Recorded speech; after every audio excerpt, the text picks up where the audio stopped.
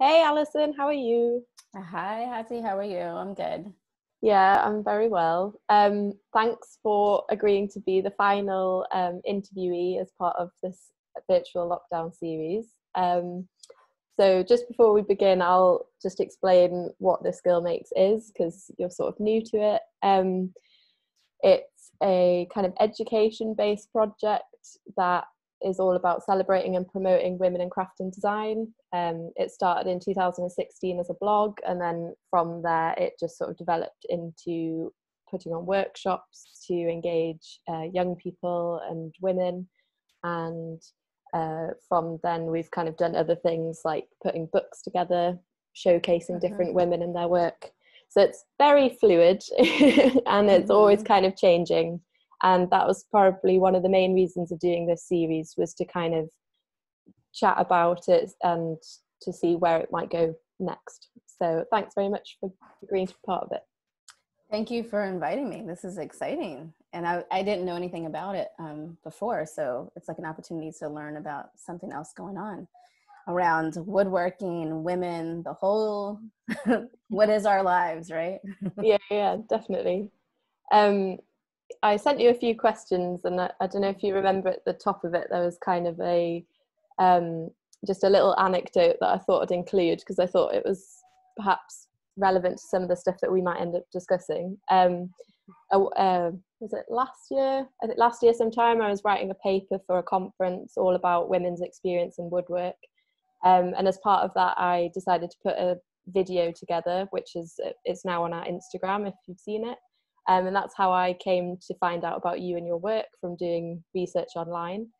Um, and when I was doing that research, I would just type in workshop or um, yeah, like wood workshop, um, and all of the images were just of men. So then I had to change my search search to be more specific, to be like women in workshop, and then that would just bring up like Western cisgender women and quite often they were dressed sort of semi provocatively. So it was kind of suggesting that the, the men were still the viewers of it, even though it was portraying women. Mm-hmm. Um, and then I, you know, as I was sort of like, I need to show diversity and like all the different types of women that do woodwork. I had to be really um, quite crude in my search. I had to then narrow it down to like be more specific about, you know, like I don't know, um, where it ended up being like black woman in workshop or asian woman in workshop but it's so mm-hmm. crude it's like why are we like putting people into these little boxes when um and the kind of i wrote about it and ended up writing about it in the paper about how if we rely on hashtags and algorithms in terms of search engines more and more if if we always have to put women in this like subcategory of woodwork that's kind of always where we're going to remain because mm. of the way that the internet works.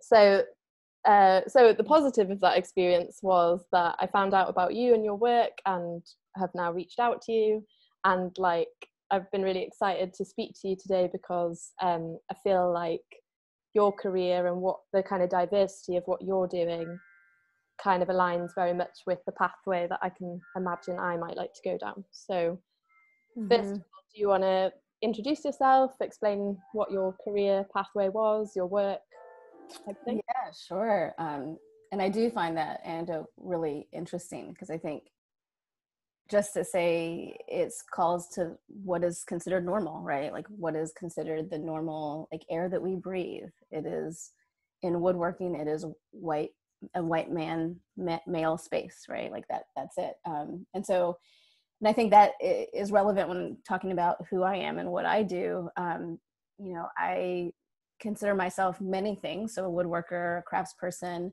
I'm an educator. I work at the Eliot School of Fine and Applied Arts in Boston, Massachusetts. Um, so I'm an art administrator. Um, I'm a mom. You probably will hear my children in the background screaming because we are all at home. um, and so, you know, that's my background. I do a lot of different things. My specifically looking at the woodworking that I make. Um, I over time have um, really kind of fell in love with a, a, way of working with wood. So doing bent lamination and coopering. um, and those processes um, really inform the sculptures that I make. Um, so they're curved forms, uh, faceted, the way barrels are made. Um, so it's, you know, like that's the specific like category of the woodworking. But I think my life in general is a combination of many different things, um, and and all influenced by my identity. Um, and so thinking about these spaces that we work in, yeah, it's like the, these. This is our life. We've chosen this path. Um, the path just wasn't made for us. Uh, so I think that's the perspective that, I, that I've always come in. Like I'm living in the United States. That was my parents are from a different country, um, from Guyana, South America, uh, and had to pave a way in this world that's not made for them. Um, and that is a lot of where like the passion and determination of what I do comes from. Um, that's I'm just going to share my screen and, oh, one second, show off my technical abilities here. Um, I have your website, so I'm just going to get that up and we can. Oh, goodness. I need to update that. um, i have also got your Instagram uh, on a tab as well, so we can have a look at that. That might be a bit more up to date. But um, just to give people an idea of the kind of work you do, because it's like incredible. Um, and so you do you have done furniture as well by the looks of things um, i have but i don't like i did a, um, a lot of these pieces i did in school like I, you know because woodworking is a priority in my life but it's not my main profession right? Like it's not um, the thing that i make all my money not that i make a lot of money but i'm working in an art institution. And so like you know i spend my evenings and weekends um, i had kids so i spend like very few few hours in the shop making things. But you know this is the work that i do. I try to make at this point with kids i try to make one or two pieces a year and my goal is to increase that. I work almost full time um, doing arts education work. Um, and so this piece that you have on the screen now is the most recent piece that i made which is it's a very cool project. Uh, it's shelter in place gallery um, so a, a, graphic designer eben haines um, from the mfa who's furloughed started a, a miniature gallery with the scale of um, 12 inches to one inch. So the pieces, my piece, normally those pods are around 12 inches tall, sometimes a little bit smaller, sometimes a little bit bigger. And so this piece I made is um, about one inch by one inch, like in diameter. Uh, so this is the most recent thing that I did, and it was awesome. I was invited by the curator, um, Michelle Millar Fisher um, from the MFA, but she was invited to curate a show there called Craft School. So she put together these. You see the artists on the side, um, these amazing artists to come together to do this um, piece talking about craft, and craft means different things to different people, um, and it's all relevant.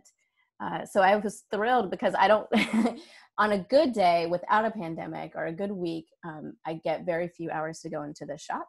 But this allowed me, um, after kids went to bed, I'd work for a few hours. Uh, I'd work, I took off some time from work, personal time, just to reconnect to my artistic practice during a pandemic in order to kind of fill my soul back up.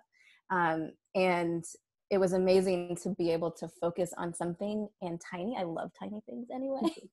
so I just like, you know, we turned um, our attic space, we have a small room into a studio space and I just like sanded and carved and, and I made it the same process that I would have made a large one. Um, and I just, I, I felt like really accomplished. I, I didn't, I was surprised at how excited and um, just proud I would be for completing this piece. And then I made a little box for it to be delivered in. so it was really, I don't know. I'm, I, I'm so happy that I was invited because it kind of, um, and when you when you connected with me, you know, I think a lot of artists are in this place where they're looking for inspiration and feeling reconnected to a practice, especially a practice that depends on a space that you might not have access to. Um, so given this opportunity, it was like, yeah, I actually can redefine how I make right now. Um, and I can redefine it in a way that allows me to have my life with my kids and my family. And not that I'm gonna always make miniature things, but um, for this moment in time, it helped me to like reset some priorities and make it work with the priorities that I have. Um, so yeah, I really, I'm like so thrilled to have it in that show. and and will it um will that show kind of move around anywhere else or Are there any? Well, we'll see. You know, I don't know where it'll, what'll happen. So I'm going to get the piece back. Um, but I think, you know, so much of the work that we do, um, not everybody believes this, but, or maybe not everybody lives this way, but so much of the work that we do, I think, is built on relationships. So you never know what's going to happen with your work. Um, you make something, you might keep it forever. Like the piece that the Museum of Fine Arts in Boston recently, um, they announced that they are acquiring a group of artists' work, and one of my pieces is there. That piece I made in college, you know, like, and it's based on these these opportunities happen really from these connections and community and we think about like, being locked down during the pandemic you know you think about community differently you think about relationships differently um, like we're able to talk over an ocean you know like yeah yeah it's just it kind of redefines everything and so i don't know what this where this piece will go or if i will make more pieces like that but i'm never gonna you know like i just I, you can't close the door to it right? Like you, you never know what's going to happen with your work mm-hmm. or your your business or your projects you know? You just never know yeah um we'll see i'm just trying to be open to taking mm-hmm. opportunities when they come i think um so you you spoke about um that you're part of you do teaching um and that was one of the topics i wanted to talk about um mm-hmm yeah, and I know that you studied um, a course on sustainability. Was that your master's? Yeah, so I did. Um, yeah, you asked. I think you sent me two questions that I think they're very connected. So it's you know um, how do I get into teaching um, education, and then a little bit about the sustainability focus. Um, and I, you know, they are connected for me. I would say that I'm. I didn't. I didn't get to anything in a traditional path, right? Um, I started graphic design at first. I went to Rhode Island School of Design for undergrad. I studied graphic design, and I was like, I'm not. I wouldn't say that I'm. I'm not overly confident on a lot of things, but not, I wouldn't say that I was bad at a ton of things. I was bad at graphic design. Like I'm bad at. It. I can critique something, but I am bad at it, and I feel confident in saying that. I'm not like, like now that I have kids, I'm like, don't say that you're bad at something. No, no, no, I was bad. Um, so I switched to furniture because it looked like everybody was having fun. Like they were learning things and they were having fun. I was like, great, I'm gonna go join that department. Um, and it was the best decision that I made. Like it really was the best decision. And but the challenge for it, when I say like, you know, I don't go in a traditional path, and this people have often recently uh, asked me questions about how how does your woodworking and how does it all how does it all make sense like how are you working in the community and doing education when did that start um, and really i would say it has always been there. It has always been this passion of mine, this interest of mine of how am I making the world a better place? How am I allowing or helping others to reach their full potential? And it didn't make sense in the furniture department. Like I made furniture, I followed the curriculum, but my thesis project was on um, what did I do? I worked with a local charter school, I think it was Blackstone Academy I worked with a local charter school with their, um, I believe they were high school students at the time. Uh, maybe it was like middle school to high school. And we built kids' furniture and we partnered with an elementary school to test out the kids' furniture. And I presented the part that partnership as well as the furniture as my senior thesis. And people were like, what? Like my critiques were like, huh? and so it's this like for other people it didn't make sense that that would be a focus and a thesis project but for me it was like well i'm learning all these skills how do i do this in a community um, and then the sustainability piece i've i've always well i would say not always. My my family has been connected to our natural environment. My mom grew up uh, in guyana in i think it was Berbice number seven. She's a farm girl. We gardened we cooked we she sewed clothes. Like she she worked with her hands and connected to the environment in a certain way. Um, but i would say my husband now um, david moses he when we dated when we were in high school and he had a different relationship with the natural environment and i remember like we'd have these conversations and it was a time when you're forming your opinions on the world and it formed mine on like wow like I really do need to think more about not just myself, my community, the relationships, and what I make. I need to think about how it fits into this larger picture of like humanity in our interaction with our natural world.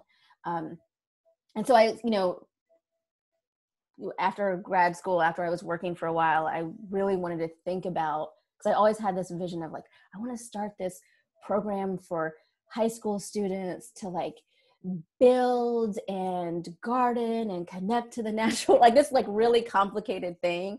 And I wanted to think about like, how do you teach people? How do you teach people to open their mind to this concept that now I think is kind of weighted and maybe um, not the right word, but like this concept of sustainability at the time. Like how do you how do you help people to open their mind to that um, in a time where we we were then feeling like you know climate change. Oh my goodness, we have to change the we have to change everything, which still case not much has changed. Um, and so I pers- like looked into see like what could I do for grad school? What could I do that um, that allowed me to to do work and connect it to do work in the real life while connecting it to uh, my studies. And so Goddard College offers a low residency program. So you you go there for like nine days, I think, and then you have this intensive experience in Vermont. And then you come back to your world and you live your life and you do everything online. So like this online learning is like not new, you know, right? Yeah. So like you do everything online, you submit your paper, all that stuff. Um, and so I did my studies on um, sustainability my thesis was um, like sustainability k through 12 education. And so i just the basic goal was for me to well i didn't know this when i started but by the end i was trying to think about like how do you take this really big concept and break it down to make it accessible to people? To people to kids to kids like as they're learning the world how do you break it down? And so how do you connect it to the individual person their larger community um, whether it's your neighborhood and then you're like you know city state and then country the globe like how do you break it down and these ideas of economic sustainability environmental sustainability social sustainability? Um, and so it was it was for me like this way of looking at all this material and then like organizing it in a way that that felt accessible. Um, and that premise like i don't i would say my work right now at the eliot school and in my life is not rooted in this the same concept of sustainability um, but the foundation of it is there. So i started a teen program when i'm um, called teen bridge at the eliot school of fine and applied arts and we work with teens from boston public schools. And what we're doing is breaking down how do you be successful in life and if you want to pursue art how do you do that? Um, so what are the economic things that you need like the knowledge financial uh, literacy for example? What's the artistic skills that you need? What are these other what's like the advocacy skills? Um, how do you advocate for yourself and others? How do you make change in the world around you? Um, so i wouldn't say that the program is a sustainability program but what i would say is that the foundation of it is very much linked into how do you change the world around you? How do you empower people to change the world around you? Um, and so that's how i mean that's a long answer to answer kind of two two questions of you know my connection to education which i still think people it's hard. They're like so you're an artist and you're a director of programs at the Eliot School. Um, so it's you know not a traditional path, but I think it works, and I think because of that, I'm passionate. I'm passionate about every single thing I do, um, and that's really important to me. Because if I wasn't, I'd quit. If I wasn't passionate about it, I'd like sleep yeah. all day if I'm not doing things. yeah, like well, that answer really captures this feeling that I've has been growing um, since I went to uni to study furniture making and woodwork. Because um, you know that I that's when I started this Girl Makes. It was at uni, and I think it was kind of like I'm learning all these things, and I could very easily share that with other people. Um, you know, to try and make it more accessible, or to like just share the passion, or like, uh, or just to bring more women into this kind of realm. Mm-hmm. Um, and yeah I, I, don't know if it was from a previous interview or something but um, there was this quote that you said uh, you strongly believe that positive change in communities will only happen if young people are empowered by knowledge skills and experiences. Uh, you're committed to working with young people to help them along this path of positive change. Um, and like i had to write an essay recently for an application and it was all about how learning knowledge um, what was it? It was to do with the apprenticeship way of learning and the same way we teach people how to read is you're teaching them how to learn because you you read in order to learn more things so i kind of pose this argument of like oh well if we teach people to do woodwork we're kind of teaching them how to problem solve and therefore how to like live their lives better um absolutely. yeah and like i think that's very much aligned with what you've just been talking about um and it's so great to like see you actually living that as you know you're you're making it work you're like able to like make a living from that and and also yeah not fitting into this normal like nine till five monday to friday job where you just do one thing and you go home you you've like taken all these different bits and they feed into each other and like what i'm about to say is no disrespect to anyone that i've worked with or i know but the people that i've kind of you know in my education and in my experience of work i think when you come at things from a slightly different angle mm-hmm. and it, it's kind of jarring against their experience or their their reality they kind of i don't know they're a bit skeptical or or i don't know that's kind of what like in yeah. Absolutely. Absolutely. And i think you can say those things with confidence. Like absolutely. If you teach people how to make they're going to change how they live.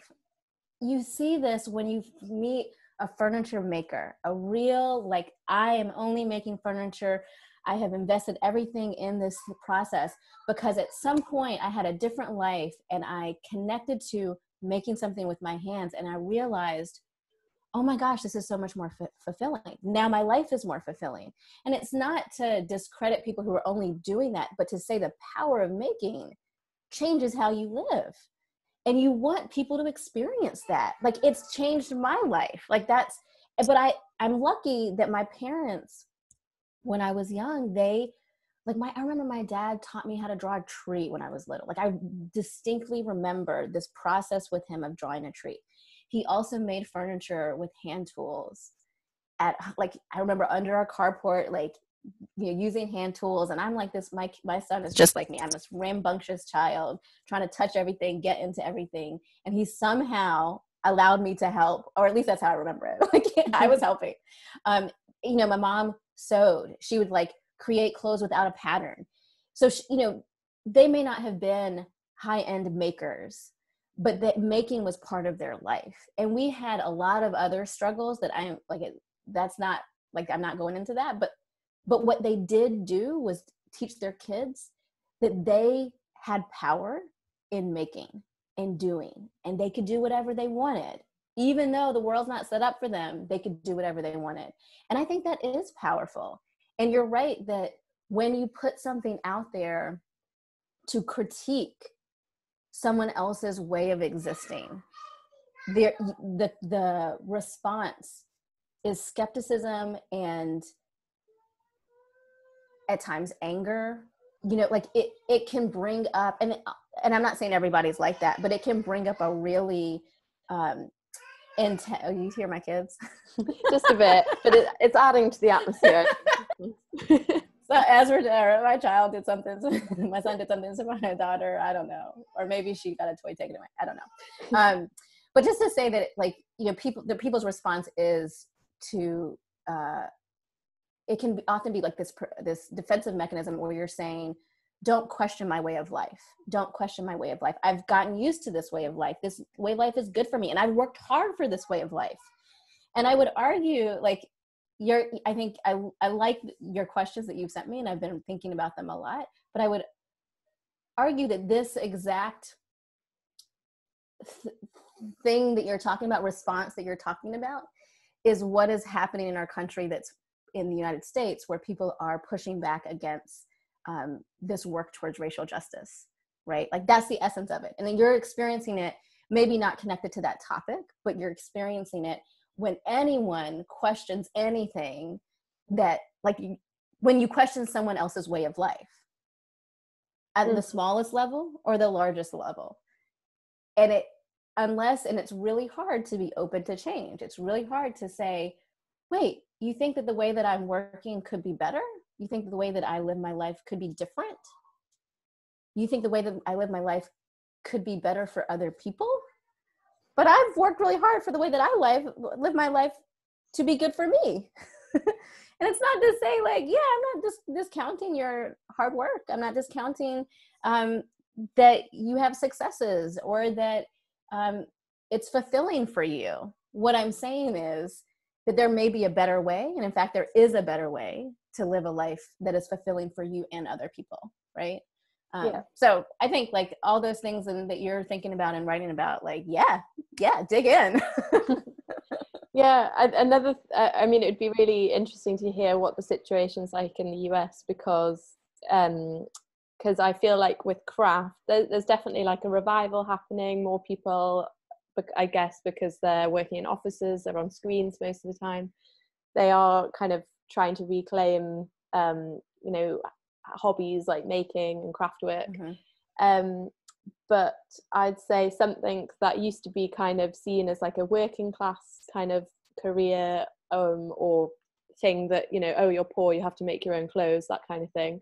It's now kind of maybe switching the other way around. And I think it's actually like the kind of privileged um, classes are the ones who benefit from craft most in the UK now, um, particularly with handmade furniture. Like the middle class has totally shrank, so now it's only like the 1% who mm-hmm. can really afford it um you know furniture to like a really really high standard um so yeah i don't know is it the same in the us like you know the work that you produce i guess it do you sell a lot of that or is it mostly the gallery spaces where lots of people can access it how does it work you have yeah that's a really good question that is something that i um, have struggled with over the years. So I would, yeah, I've struggled with that idea, and that's probably why I I have dedicated so much of my time as an art administrator or educator. Like I've taught woodworking to middle school kids, elementary kids. Um, and that's probably why I've done that because it's this. I I remember saying saying something to the effect of you know, um, I can make the I can make a living at, at making things. I'm pretty sure I can make a living at making things only at making wooden sculptures or furniture or whatever it may be. But that process may only fulfill me um, because i'm not doing it. I ref- like i this is I, I refuse to be a designer like to design furniture. Like i don't find that exciting. That's just not some people find that really exciting that's not that's not me. It's about the process of making it. So i'm making it for myself. Um, and i do would love for people to sell to buy it right? For me to be able to sell it in order to have a, a life. Um, and there is something that's challenging about that because it is expensive. Like my work takes an insane amount of hours. Um sorry i keep hearing audrey saying mama. Oh. um it's okay because she says mama and dad. She tells every, calls everything mama and dad sometimes um just say if you need to pause at all we can press pause so just shout yeah i'm good um but just to say that you know i do i have struggled with that and that is probably why um, I have invested, it's one of the reasons I've invested so much of my time in education. And really, like, I'm at the point where I'm trying to figure out ways to change systems. Um, so, making sure that there's a pipeline for kids, especially Black and Brown kids that don't have access to arts education or have limited access to quality arts education, um, that they have a pathway into these fields if they so, they so choose. Um, and recognizing that uh, the skills that you teach in the art world is not just you know creativity and expression it's which is all great things um, but it's also problem solving and uh, related to life skills that are needed to, to, to succeed um, so i struggle with that some at this point um, i don't sell a lot of my work i don't i like i make it i don't make a lot i make some um, i'm hoping to make more and to make it like i am you know trying to figure out this is going to be a second business this year for the first time. Like it is going to be like my professional life, and then I'm going to have to do taxes just for this. Um, and so I do want people to buy my work, and I want it, and I think that's where the relationship piece comes in. And I am privileged enough to be able to figure this out where I'm gonna I I'm doing like grant proposals to do work that I want to do. And if museums want to purchase it great because that means it's accessible hopefully to a larger larger number of people but not everyone. Um, and if individuals want to purchase purchase it i will you know decide on that when it happens. And i hope that um, the people that are purchasing my work uh, have a relationship to it and engage in relationship to it that is meaningful and engage i'm like thinking through this right now in this moment but uh, the experience of working with me or purchasing the work um, i'm hoping that they are engaged in a conversation that is connected to my work like in their lives they're engaged in a conversation that's connected to my work um, and i think that's important for me.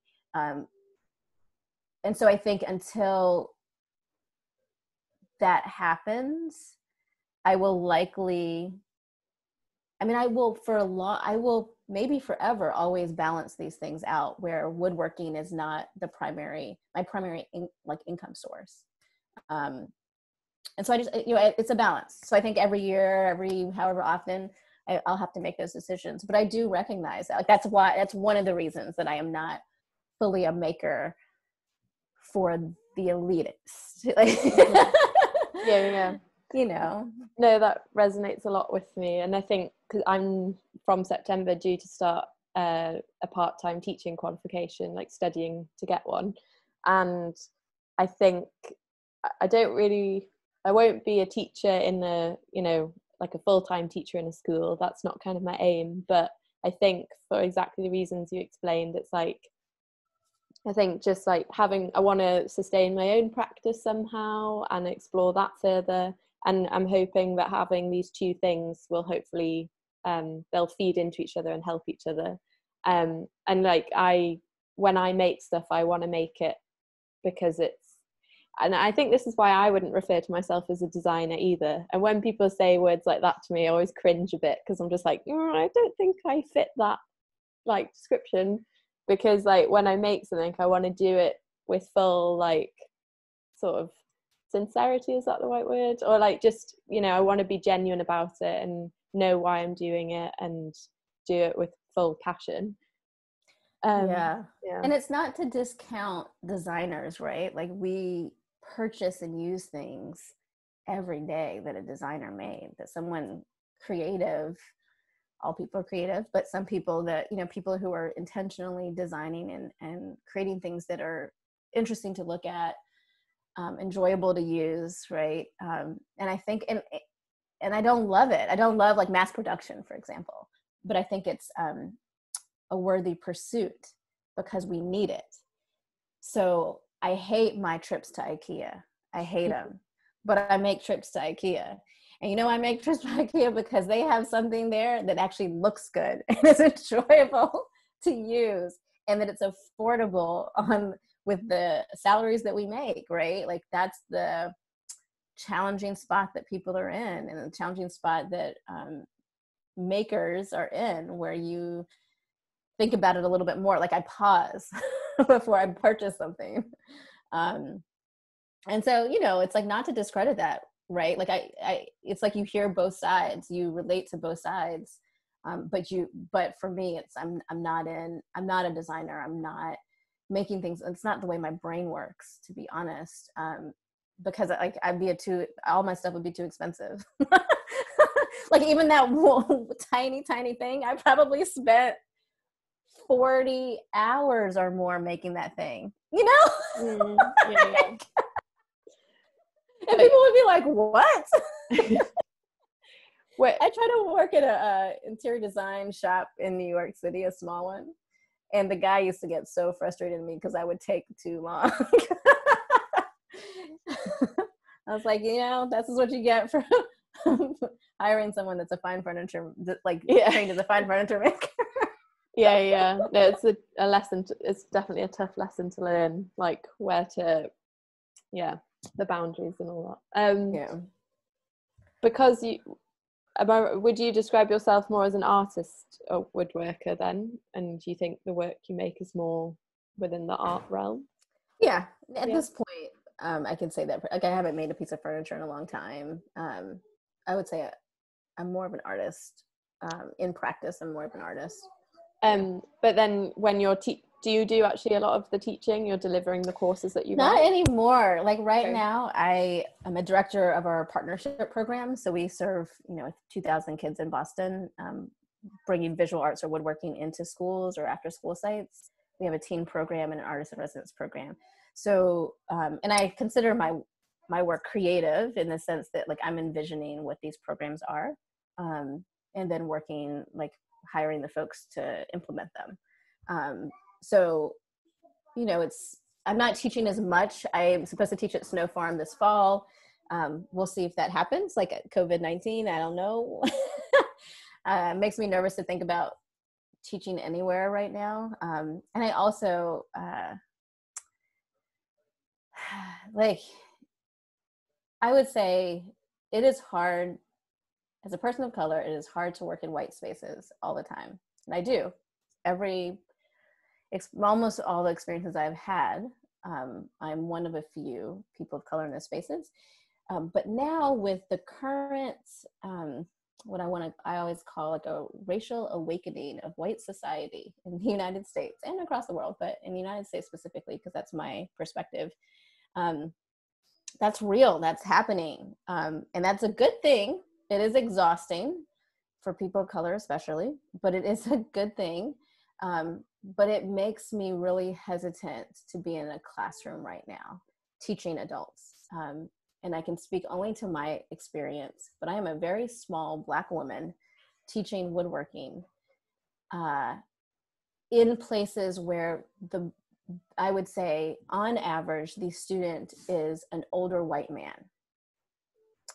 Not always, sometimes they're older white women, and sometimes they are people of color, and sometimes they're young. Like there's a lot of like I do think there's a lot of people, you know, coming out of college that are artists or you know trained in a lot of different things or are now taking classes um, more and more I, I, feel like. But the majority of folks are white and older and often men. Um, and i have to say that the daily interactions in a woodworking classroom for me is a constant questioning of my abilities and what i make. And it's not that people are trying to be rude. It's all good intentions. It's not they're not trying to be rude. Um, or to like discredit my education or my experiences and all those things. But i think it is really coming from a place of like the sculptures that i make are hard to understand. Um, and i might teach a technique that has helped me to make them but they want to make what i make and they think they can in a one week class. Um, no matter what i say that is the that is the perspective that i must be able to make that. Like there's no way i can't make that. And it's subtle like there's subtle things that are said and it's a constant like you know if i were somebody else and i have been there where i have a professor that says you really should adjust the scope of your work. You don't have the experience right now 10 years down the line 5 years 1 year down the line you can make that which also has its own issues right but when someone tells you that in a position of authority typically people adjust a little bit and when i say to people you know, in a one week class, we have this many hours. These things that I make take a lot of time. I can't even tell you how many hours because I stopped tracking because it's not worth my time to track it. Yeah. They don't believe me. They don't believe me and they push and push. And I know I want to do that.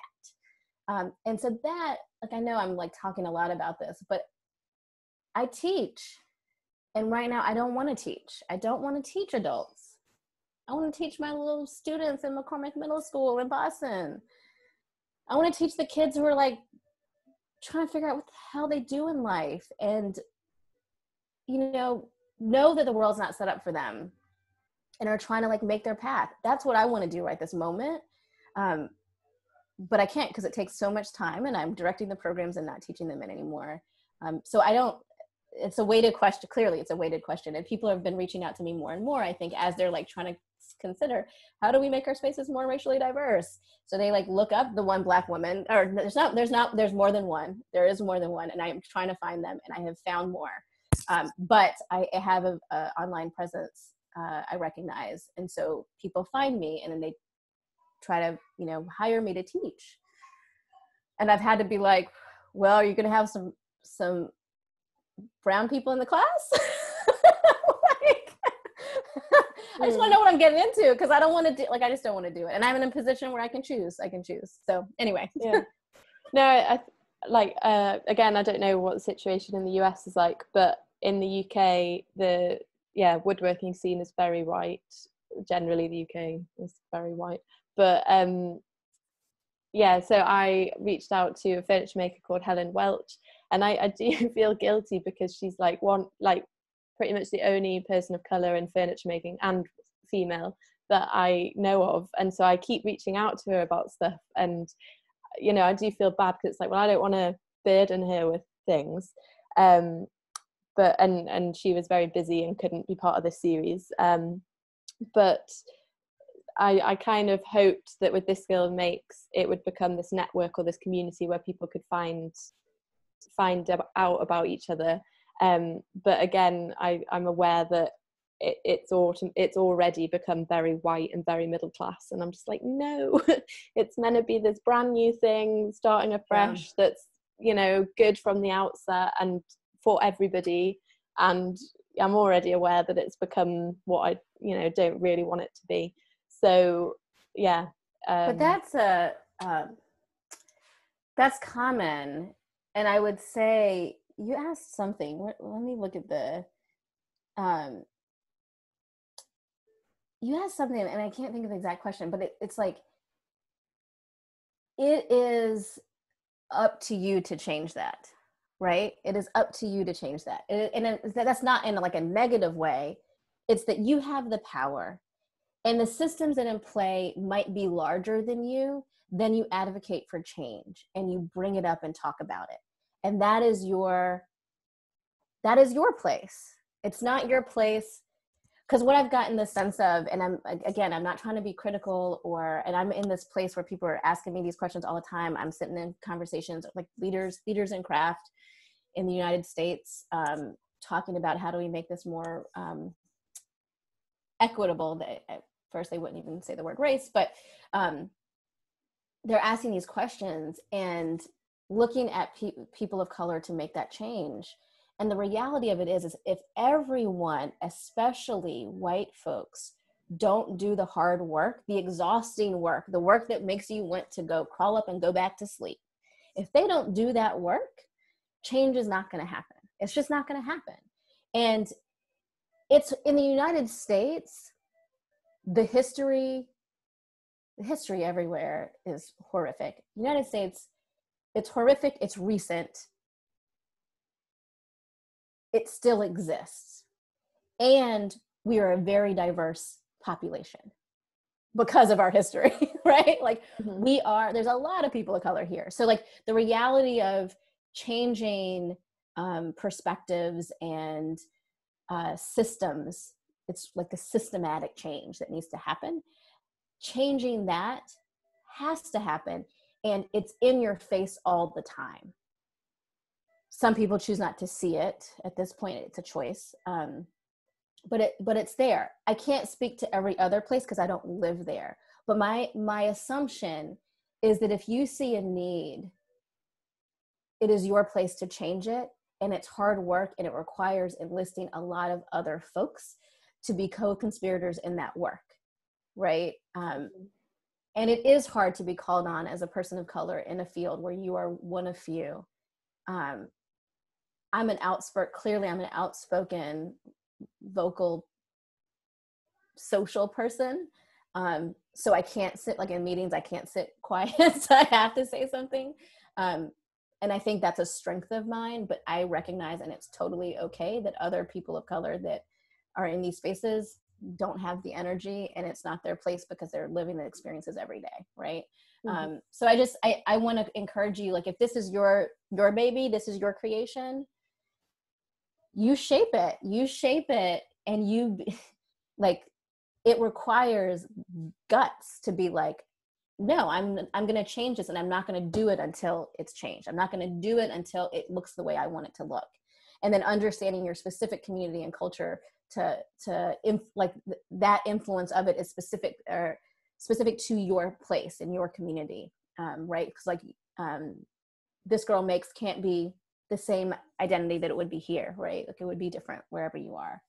Um, so that's i mean that's my I, I, I can't say that enough to people um, and i live with a lot of liberal white folks that are like wanting to make the world a better place but it's like the daily actions that need to happen the exhausting work that needs to happen and the ability to really put your yourself out there um, at the at your at the expense of it's a, it's at the expense of your livelihood really um, but it's like not everybody gets that so mm.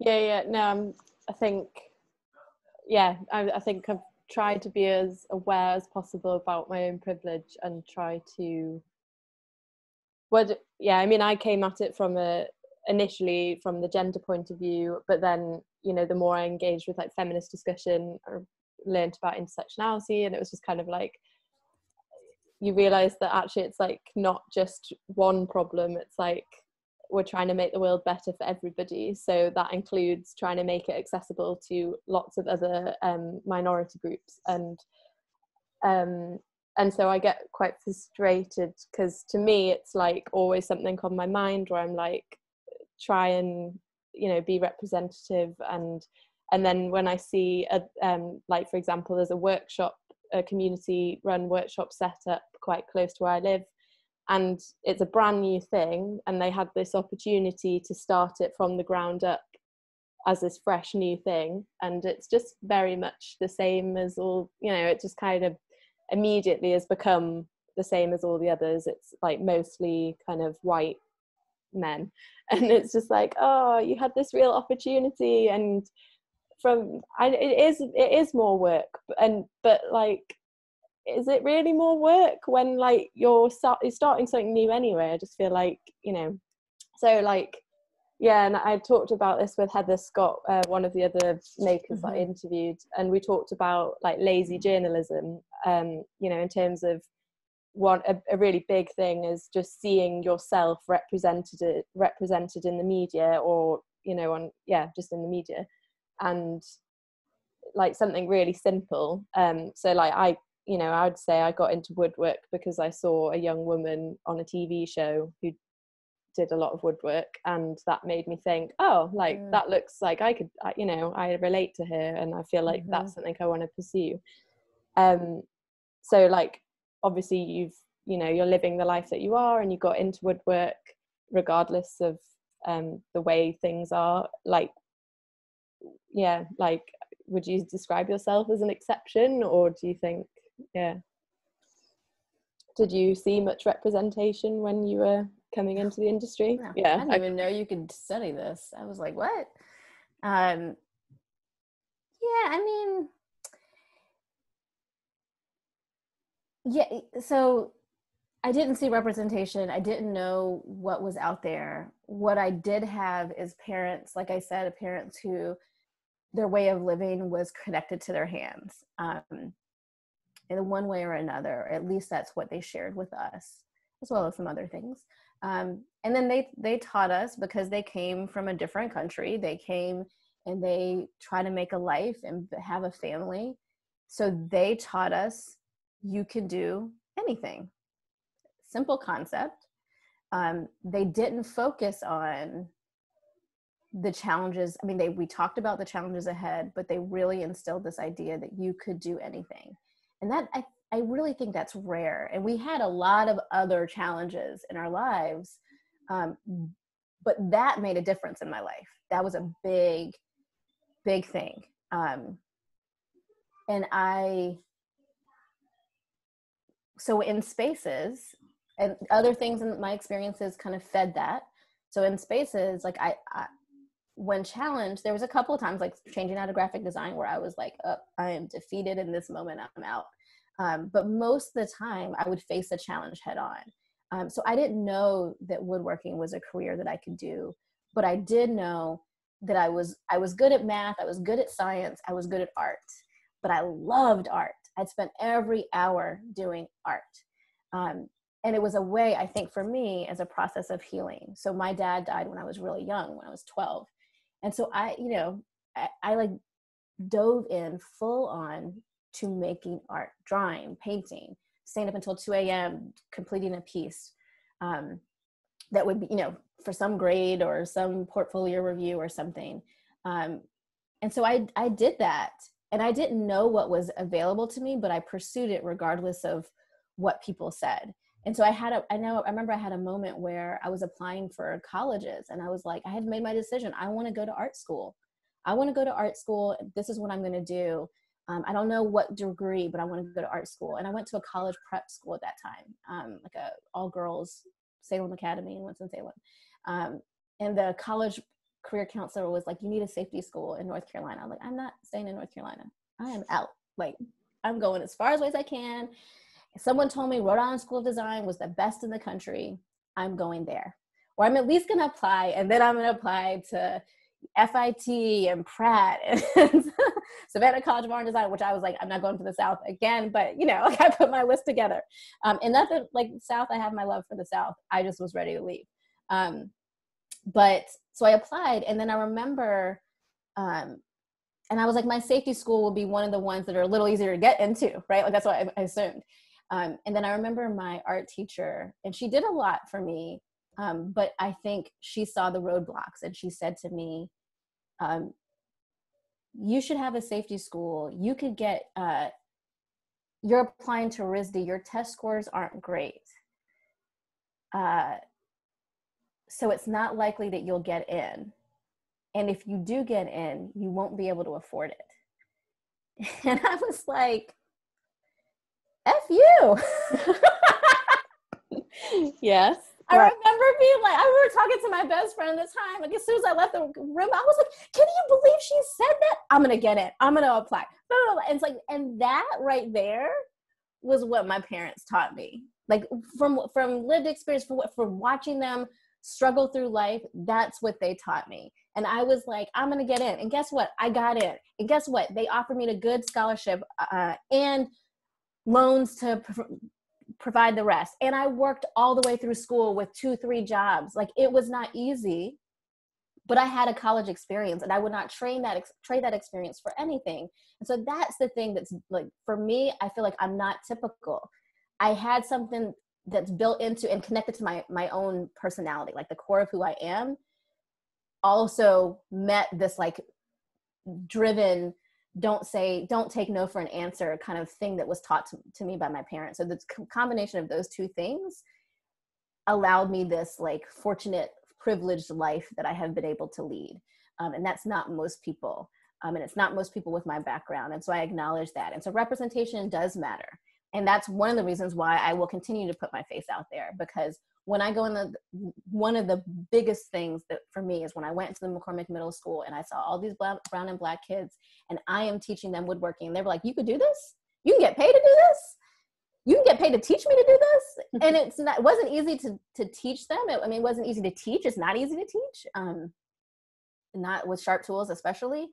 Um, but that like moment of them seeing me and saying, "Oh, this is a path for me." like that's very important and that can change people's lives absolutely and that's what white kids see all the time. They always see themselves reflected in anything. Like i looked at books that my kid gets and it is rare that if the book isn't about race that the the characters show up and they're black and brown. Like it is rare you know so representation absolutely does matter mm-hmm. yeah. No i i feel like i uh, relate a lot to what you've just spoke about. Um it's funny like i didn't even know this um and approaching you but um, yeah i lost my dad when i was also like 14 and what you described about just having something built in you about like oh if you tell me no i'm going to prove you wrong and just like keep going. I feel like definitely share something there with you. Um yeah yeah um yeah no that's really interesting. I think um when you were what did you study specifically when you did your undergrad? What was the course furniture design. Furniture yeah. design yeah. and um yeah, oh of course because you swapped from doing graphics. Um mm-hmm. and what i think one thing that's quite common uh, that i've found from interviewing uh, women over the years is that a lot of girls pursue like fine art or like creative subjects rather than like woodwork more practical subjects. And i guess it's because the spaces are seen as more men male or yeah there's a lack of representation. Um, but then there's this kind of i don't know epidemic maybe where um, women who do fine art courses then graduate and then they don't have practical skills that they can then apply for jobs and so there's kind of like a gap a skills gap i would say between men and women perhaps. That's um, interesting. and yes yeah. but you obviously studied was your course quite practical? Like did they teach you like how to make things or was it more design focused? Oh no it was i mean i don't know how i can't speak to it now because it's always changing. Um but that there is the education it is a good education i didn't believe like all the hype when i started um but by the end i was like oh yeah i get it now i get why they have the reputation they have the furniture design department is you learn hand tools like you don't do machines until I don't know if it was second semester or the second year, but I remember like we have to carve an egg with hand tools. Um, you learn like your first weeks like learning how to sharpen all your tools. Um, you have to make you know mortise and tenon joints by hand. There's a box project, so it's all making. It's all making. It was actually probably majority women in the class. A small department. Um, I don't, I don't know what the numbers are, but there were a fair amount of guys, um, but there was also a fair amount of, of women. Um, and part of it is, I think, teaching at the Eliot School, I see the our, in our in-house classes, the majority of students in our teen classes, which is when you go from like kid classes to doing things more serious and then learning how to use the machines. The majority from just like stepping through classes and seeing them it's mostly guys. And i think that that difference is something where like the guys that come in to the department at RISD, at least in my memory, they had already had a certain, not all of them, but some of them already had a certain amount of uh, exposure to woodworking specifically, which is different. Like I came from it, like I had a, a small amount of exposure, but I didn't know how to really make anything. Um, but my exposure was to art and art skills right? Like the like visual art skills rather than woodwork. Like a lot of these guys had used machines before you know? So it was just a difference but it was majority women there um yeah and but i think that's the but i guess the percentage of guys in the class were probably higher than other uh other departments um but in general, there's a lot of women at RISD. what, I, what I can see. But it was, I mean, it was an excellent education, like mm-hmm. absolutely excellent. Like I could, if I had to, I could build a piece of furniture right now, even though I haven't made a piece of furniture furniture for a long time. Like I've made sculptural things and I'm focused on a certain set of processes. But if I had to, like I could do a mortise and tenon joint or a dovetail joint by hand, right? Like mm-hmm. that's the type of training, and I totally could depend. It's like riding a bike. Like I could depend on that. Um, so yeah. Oh no, that's really great to hear because I think something that I'm really conscious about is that I did my training, learned all those skills, and then you go down a career path where you're not necessarily using all those skills all the time. And although I'm in a workshop based job now, um, you know, I, I I only need to do the tasks that I need to do day to day. You know, I'm I'm kind of like not using the full breadth of my skills and whereas I kind of look at um, my male friends who have set up their own businesses, so they are getting a lot more exposure to that. Um, and also just generally because I'm, you know, younger than them, they were they went into it as like mature students. So I think I don't know when you're aware of how much you need to learn and how many skills there are to like maintain. I think it can be a bit overwhelming, but um, it can. But you know, you fall back on what I would do in school would which would be like pull out my Tage Frid book and read the instructions and remind myself of the thing and then build it. You know, like I feel like that like also teaches you a process to work. Um, so even if you can't do it just like that at every moment, you have it in you to figure it out, and that's what they teach you, right? Like how mm-hmm. do you mm-hmm. problem solve? How do you like figure it out um, to do the thing that you want to do? Because um, you know that you're also going to have to like invent some other process to get the thing done eventually anyway like that's the way woodworking works yeah yeah there's never an easy solution you always have to build something to build something to build something yeah yeah and i think my one of the biggest learning curves was like don't bother cutting corners because it will you know do do it right the first time and that will save you so much more time yeah yeah, yeah. i was always like oh I'll take the quick option please um no no no um uh, I think we've I think we've maybe covered an hour. So um, just to sort of, I don't want to take up all your day. So um, just to sort of bring it to a close, um, like we haven't really, we've mentioned lockdown and, you know, you're at home with your family. Is there anything that this like recent, um, like the recent, this year basically has kind of like highlighted to you and made you kind of reflect on? And, you know, are there any changes you're going to maintain moving forwards? You know, I think we we've spoken a, a, lot about the things that it's brought up to me. It's like things that have always been on my mind. Um, now we all have a little bit of more space to think about it. Um, so you know, I, I wouldn't say that for the most part it hasn't brought up anything new. It's just bringing everything to the forefront and making it a little bit more raw, like the experience of it. Um, so in the protest after George Floyd's murder, uh, some of those protests are in our neighborhood, um, peaceful protests in our neighborhood, um, which I think most of the protests are peaceful out there, but they're being covered in a different light. Um, and so it, it, and my kid is four, like my son is four, so he's at this age where he notices the world around him. So, and we are locked down with our kids all the time. So we also recognize that kids everyone's going through their own particular trauma and kids are going through it um, and are going to be shaped by this experience so i would say these things aren't new um, i haven't like racial injustice isn't new to me uh, understanding that my kid has experiences and needs to process them is not new but what's new is i'm able to slow for the most part, I'm able to slow down a little bit more because I don't have to commute because we're all in the same house most of the time. Um, and I'm able to like pay attention to it a little bit more. Um, so we were already we were already having conversations around identity beforehand, but I had to co- talk to him about why would someone be murdered? Like, mm.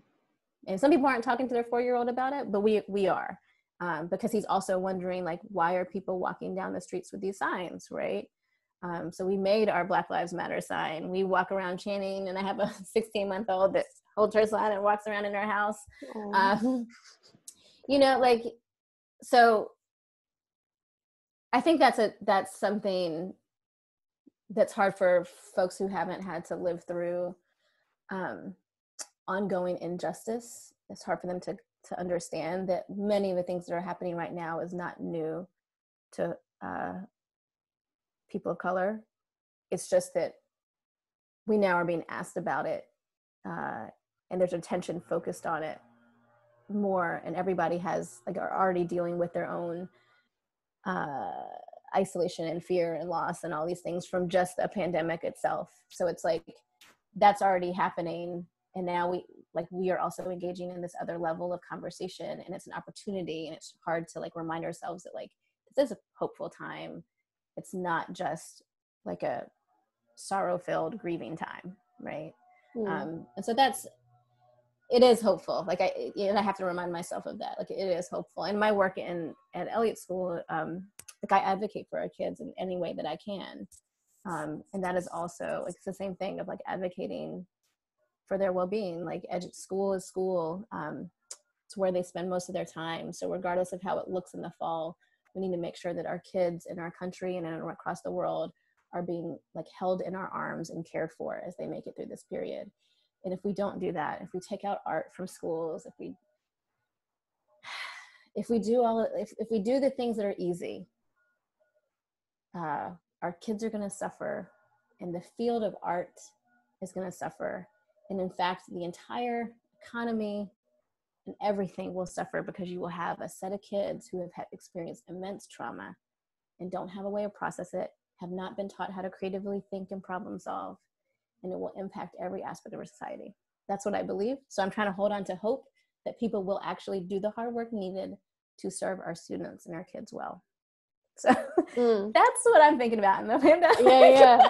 well, I, I can say out of everyone's answer, that's the most like enlightening and just kind of I think real and hopeful. Yeah. So thank I think that's a really great point to finish on and thank you so much for your time. Um, thank you. Yeah. Thank you for inviting me and I really um I'm going to keep paying attention to what you're up to. So you know, you gotta you gotta do what you gotta do. Make this make your project and your work important to you, right? Regardless of what people are saying, you gotta do what you gotta do. oh well thanks so much really appreciate uh, speaking Thank to you. you. and hearing about your work and if i'm ever in the states i'll hit you up Yeah, absolutely. absolutely. All right. Bye. thanks so much bye bye welcome. Bye.